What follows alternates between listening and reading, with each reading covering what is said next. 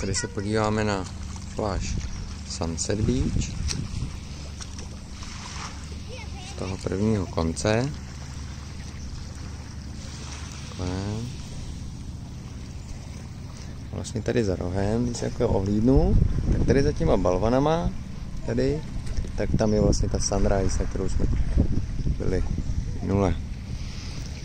Tady je takový vál, myslím děti se tu plavou. Voda je tu krásně průzračná.